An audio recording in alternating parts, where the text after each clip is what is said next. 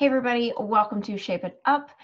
We are talking about the ground rules for Thanksgiving so you can stay on track with your weight loss goals. So, we all know Thanksgiving Day is considered a day where it's perfectly acceptable to overeat, and I am not here to debate that with you.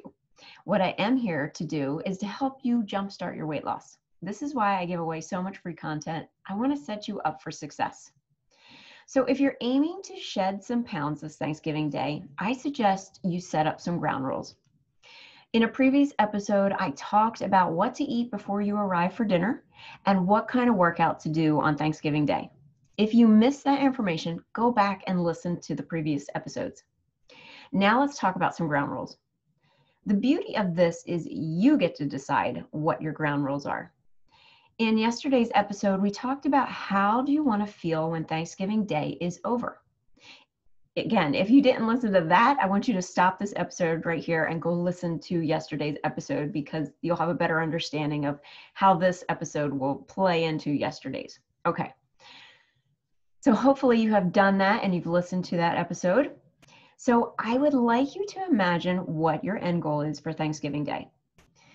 So everybody's going to have a different end goal. So I'm just going to use this as an example. So let's say you want to feel comfortably full and satisfied with what you chose to eat. Now we're going to set up the ground rules to get you your desired end of Thanksgiving Day. Okay. So if you want to feel comfortably full and satisfied with the foods that you ate, what are you going to need to do during Thanksgiving? So, rule number one might be I will only have one serving of dinner food, meaning I'm going to have one plate of food. I will not go back for seconds. Next rule might be I will only select to eat the foods that I absolutely love. Some other rules might be I will be more aware of when I'm getting full. I will save a little room in my stomach for dessert I will drink four glasses of water while I'm at dinner. I will focus on the conversation and the people that I'm with as opposed to the food. So you get to decide what you want your rules to be.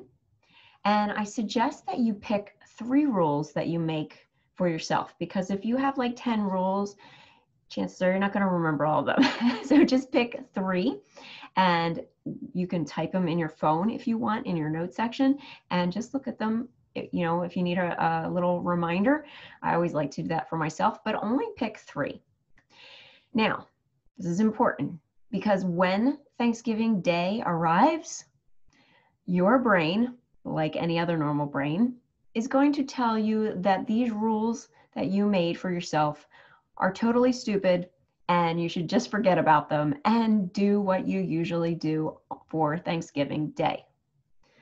Be on to yourself. If you want to change your body, you will need to change what you normally do.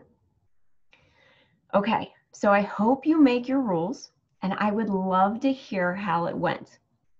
So you can connect with me on Facebook on the Shape It Up page or on Instagram at Shape It Up with Nicole and my name is spelled N I C O L E.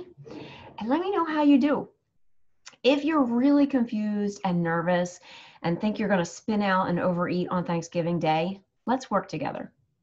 I can help you navigate through the holidays. Your first step is to let me know you would like my help. And you can do that by booking a call with me today.